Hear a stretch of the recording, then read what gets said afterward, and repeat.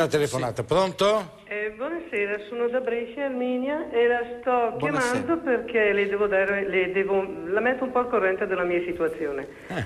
Mi hanno trovato mh, la glicemia, l'emoglobina glicata alta per fare, mh, mi hanno fatto fare un esame in più di quelli che facevo normalmente. Il diabete del glucosio il mio era 125 e l'emoglobina glicata era 6 e 7.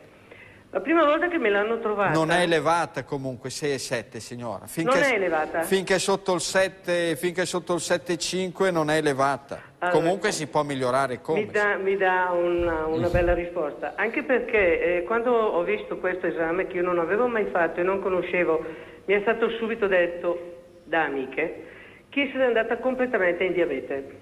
Questa è stata la risposta. Io già non, eh, non sono amante né di primi né di pane, perciò non ho fatto fatica a eliminarli completamente perché io lei la seguo già da anni, perciò sapevo che era una cosa del genere. Però io le sto chiedendo adesso, siccome non ho mai avuto nessun sintomo e tuttora non ne ho, io eliminando quella roba lì, poi dalla mia parte ho trovato un medico nutrizionista che non è al pari suo ma le somiglia molto e mi ha dato una buona dieta, ottima, eh, dove posso mangiare sia il pesce, carne bianca, verdura, niente di quella roba che ha detto lei di scartare perché non me l'ha messa dentro in dieta. La- l'ultima volta che io l'ho rifatta mi è andata a 5,9 con un 121 di glucosio. Sì. Cosa ne pensa? Lei stasera che ce n'ha fatto signora? Ecco, stasera mi sta facendo una domanda perché stasera ho avuto una voglia matta di pane, me lo sono mangiato dopo sette mesi. mi sono mangiato un pane. Però erano sette mesi che non lo mangiavo. Eh? Va bene, ma se lo mangia al mattino o a pranzo signora? No, quando, allora- quando ha voglia matta di pane non se lo mangia a cena, se lo mangia a colazione o a pranzo. Mi è venuto stasera. lo, lo smaltisce signora. Mi è venuto stasera. Ascolti, io faccio una colazione. Eh, si mattino- faccia una buona camminata adesso, oppure si faccia un bel Ci percorso in saluti, casa. si stacchi dal televisore e vada a ballare un po'. Ecco, stasera non sono andata a ballare perché mio marito era troppo stanco, altrimenti tre sere alla settimana noi andiamo. Eh, perfetto.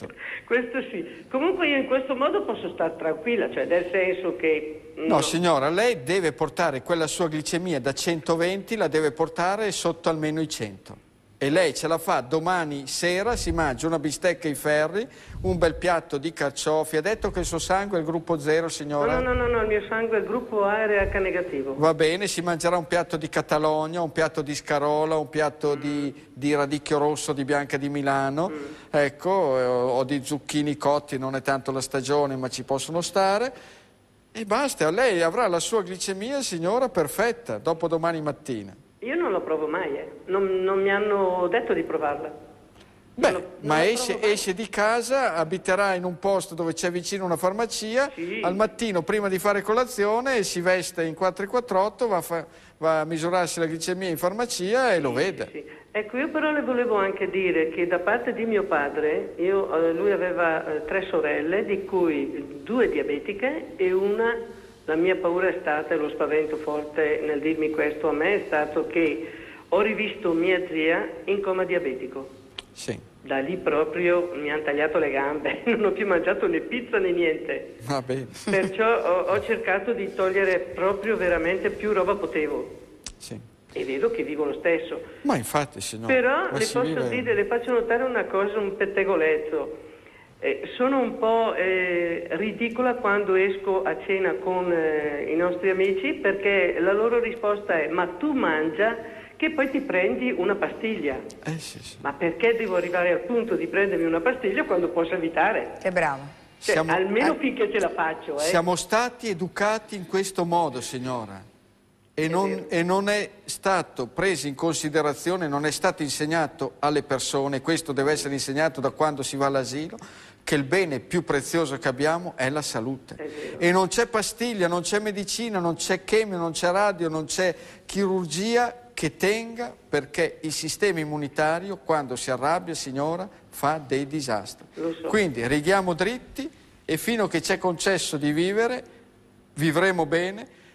Ogni tanto, come è sempre stato nella storia dell'umanità, ci faremo la nostra buffata e non cascherà il mondo e si vivrà bene, benissimo, senza grossi problemi. Le dirò che da quando ho tolto tutta questa roba ho perso quasi 10 kg. Ah, ecco, Bravissima. anche questo. La ringraziamo, una Brava. bella, Grazie, bella signora. e intelligente Tanto, signore, vede bene.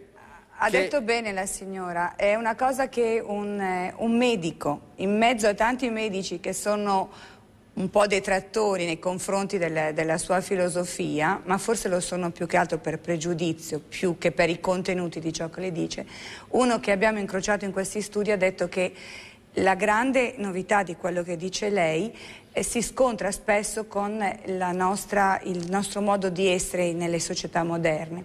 Lei ci impone o ci suggerisce una dieta in cui si devono togliere molte cose, invece nel modo di vivere all'occidentale siamo abituati ad accumulare, aggiungere e Finché mai si a togliere. farlo, finché si potrà farlo. Se noi poi- introducessimo Sì, questo concetto nella Gianni. nostra vita, Eh, togliere, ragione. Togliere, eliminare alcune cose si potrà fare, perché tra un, un po' quando arriveranno i disastri sulla salute come stanno già avvenendo e poi addio. E poi forse sarà tardi perché una cosa mh, mi sono dimenticato di chiedere adesso alla signora se lei ha dei figli. Ecco se ci sono dei genitori col diabete con le glicemie alte come poco fa parlavo di quel signore che ha avuto il rene policistico, che il padre l'ha sviluppato a 60 anni, a 63 ha fatto le valigie definitive e il figlio l'ha Ha avuto il problema molto. di 20 anni, di 20 anni. Ecco. Bisogna stare Questo all'occhio. potrebbe essere il rischio.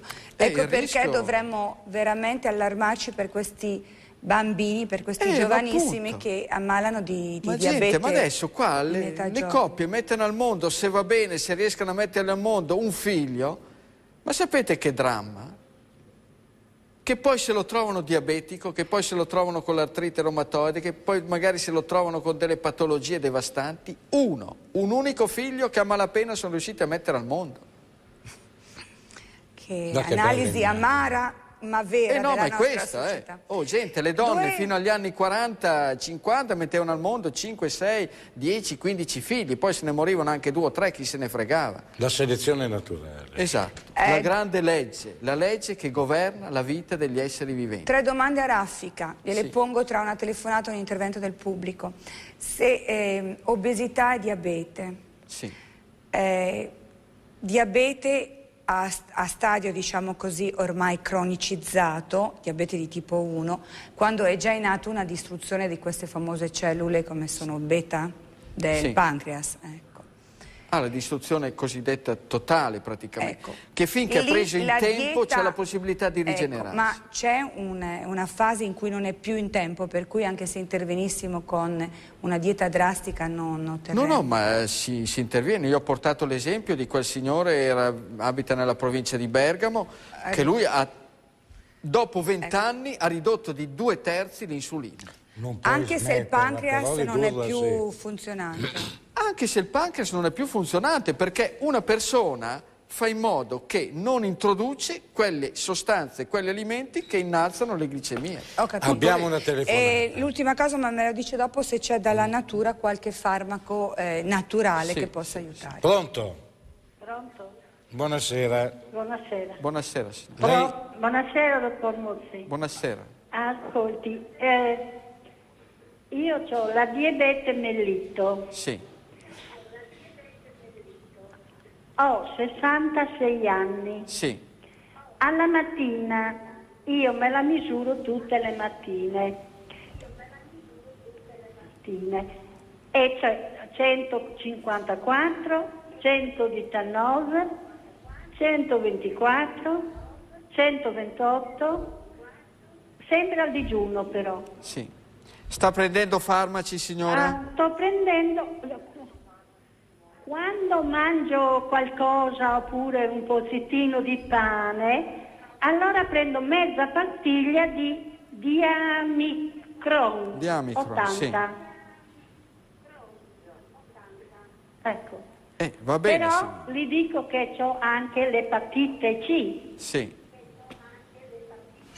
Eh, e qual è il suo sangue, signora? Lo sa? Io è 0RH, sì, 0RH positivo. Sì, signora. Eh, ma come abbiamo parlato poco fa, Sì. Oramai penso che dovrebbe essere abbastanza chiaro il discorso, soprattutto poi per le persone di gruppo zero, che i cereali già li fanno male anche se non hanno il diabete, figuriamoci se ce l'hanno. Lei, soprattutto a cena, signora, si dimentichi i cereali, i carboidrati, si dimentichi le patate, le patate dolci americane, ma si dimentichi anche la frutta, perché anche la frutta, soprattutto alle persone di gruppo zero, può elevare le glicemie. E si misuri la sua glicemia, signora, e come ho continuato, e come ho continuato a ripetere questa sera, e scriva bene, tenetevi un bel quaderno, bel chiaro, e ogni pagina la dedicate a un giorno, e ci scrivete colazione, pranzo e cena, che cosa avete mangiato in quel giorno. E dopo due ore magari vi bucherete, vi bucherete le dita per un- una settimana, Sì, sì. ma poi vi servirà per venire a capo di tutto e dopo due ore che ha mangiato si fa il buchetto Il e vede che buchetto. glicemia ha e in Sì. più la misura al mattino appena alzata. E lei signora, siccome le persone non sono tonte ma tutte poi capiscano rapidamente e vede che certi giorni avrà la glicemia perfetta e altri giorni avrà la glicemia più alta. Lei per capire va a vedere che cosa ha mangiato e viene a capo di tutto. Grazie signora, auguri. Buonasera signora. E Ecco. attenta alle cicche, ai dolci, alle cose cosiddette senza zucchero, perché sono molto subdole. Nascondono la gente, la gente è tratta in inganno da tutti questi prodotti qua e niente, si trova poi che... Vorrei dire come- una cosa, che anche nei farmaci comunque eh, ci inducono a- al consumo dello zucchero, eh, perché anche nei farmaci vengono aggiunti. Ma anche comunque, nei in farmaci, tutto. la maggior L'industria parte- alimentare lo aggiunge in tutto. Ma nella zucchero. maggior parte dei farmaci, ad esempio, l'amido di mais è presente quasi dappertutto. È vero, è quasi Il lattosio è presente quasi dappertutto. E sono più presenti questi due che non il saccarose. Perfetto, e non ho capito se mi hanno fatto cenno. Sì, Ah, c'è la da fare la, la sosta Sì. pubblicitaria. Se hai qualcosa. No, io volevo dire che bisogna stare proprio attenti al pasto serale. È questo, le persone si devono mettere in testa due o tre concetti fondamentali. Il pasto serale è il pasto più importante. L'attività fisica durante il giorno è fondamentale, ma soprattutto fare una buona camminata, piuttosto che no, fatevi un percorso in casa da girare attorno a tavole o a sedie o via dicendo. Entrate e uscite da una casa dopo aver fatto tutti i perimetri della- di tutti i mobili. Fate le mobili. scale a piedi. Fare le scale, fate tutto questo qua, ma soprattutto a cena state attentissimi, perché proprio qua che ci sono delle carote, le carote, perché Ecco, anche le carote hanno un discreto contenuto di zucchero, finché mangiate le carote crude non succede niente. Se mangiate le carote bollite non succede granché, ma se fate le carote al forno o se fate le carote saltate in padella, a volte nelle persone molto molto sensibili si concentrano questi pochi zuccheri e voi vi trovate ad avere una glicemia elevata grazie anche alle carote saltate in È padella. molto giusto, la cottura, ad esempio cuocere le patate con la buccia eh, vi regala un indice glicemico più basso Mm. che la patata spellata, oppure la patata al forno è molto più zuccherina Sì, della patata perché c'è la perdita di liquidi e uno a parità di peso, a parità di peso mangia più carboidrati. Ad esempio eh, la pasta è sicuramente bandita, però se proprio volete peccare gli spaghetti al dente sono meno dannosi di un'altra pasta Perché stanno meno nell'acqua e magari recuperano meno più del loro scotta e di altro certo. tipo. Tra gli alimenti, qua finora non abbiamo È come il parlato. caffè ristretto c'è- rispetto al caffè lungo, no? Uguale. C'è la quinoa, quinoa che si scrive con la Q, Q, U. eh. L'abbiamo vista tra le presentazioni Quinoa è una- un seme che ha origine dalle chenopodiacee, della stessa famiglia degli spinaci, delle erbette, delle barbabietole rosse e praticamente tra i cosiddetti primi è quello che ha il più basso indice glicemico. Però se uno la mangia a cena, anche con la quinoa la glicemia non va d'accordo. Il problema è la cena. Lo vado a cercare. La quinoa quindi non è un cereale. Ma lì Abbiamo- difficilmente ci sarà su. Scommettiamo? Dopo no, la no, provi, pubblicità. provi. Dopo la pubblicità ne parliamo.